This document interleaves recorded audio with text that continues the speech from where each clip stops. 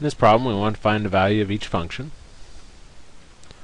So we got um, f of x is equal to the absolute value of x plus 5 minus 2, and we want to find f of negative 8. Evaluating functions is always the same. You go through your function, everywhere you have an x, put it inside of parentheses. Everything else remains the same. Notice our absolute value bars are still there, the plus 5, the minus 2. All we did was replace the x's with parentheses.